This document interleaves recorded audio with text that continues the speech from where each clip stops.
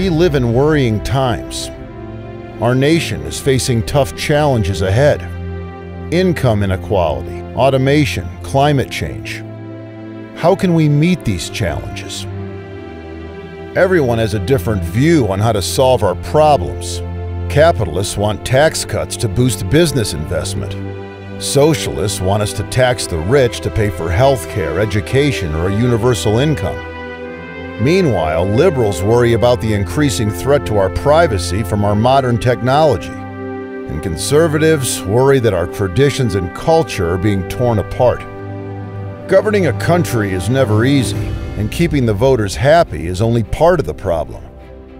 As a politician, you have to keep an eye on your party membership, your largest donors, and watch for the dangers that you face from the angry mobs and terrorists that want you out of office by any means necessary. In the toughest of times, we can use emergency powers to push through legislation we could have not possibly managed otherwise. But is this enough to keep us in power and the economy from collapse. And even if we do manage to get the most votes in the next election, will we have an outright majority or be forced to govern in coalition, compromising our beliefs in order to cling on to power? Running the country is tougher than ever, but at least this is still a democracy.